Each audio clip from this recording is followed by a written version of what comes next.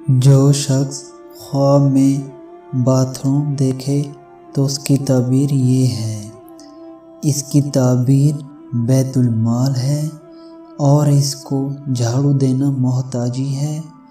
इसमें दाखिल होना, बाहर ना निकलना, कैद होने की दलील है।